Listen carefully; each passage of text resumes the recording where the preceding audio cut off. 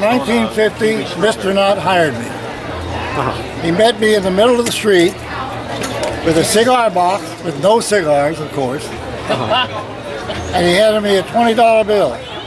He says, you're going to sell Calico Strike and Sarsaparilla right here in the general store. Here's $20, get your change. I says, yes, sir. That was my first job here at Knott's Berry Farm from Mr. Knott. That's my story. And I'm sticking to it. I'm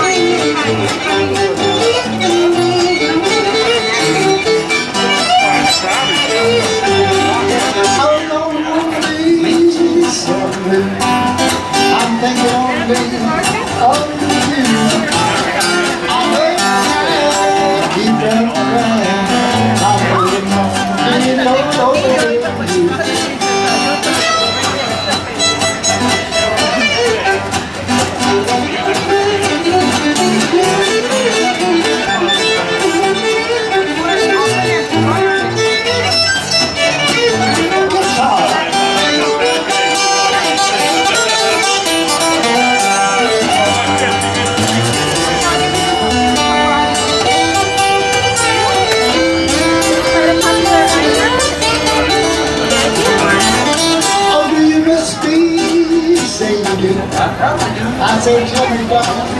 You tell me. You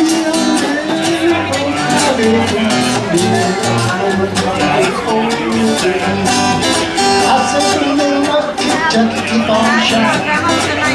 Shine on the of people. Blue moon of Kentucky keep on shining.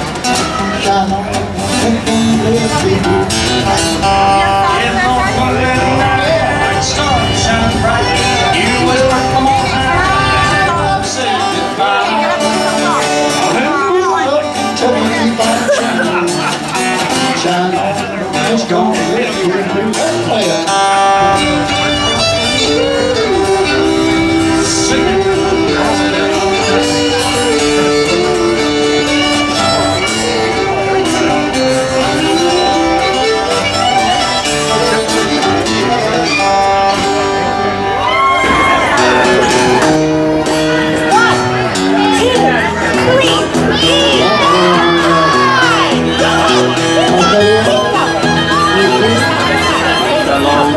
I'm Johnny Flash.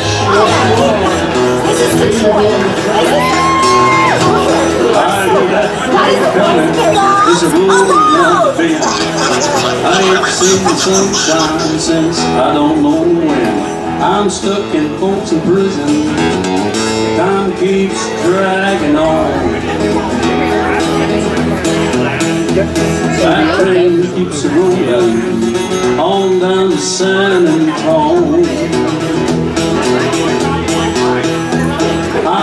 there's rich eating in a fancy dining car. I bet you they're drinking whiskey and smoking big cigars. I know I had it coming. I know I can't be free. That train keeps moving, and that's what tortures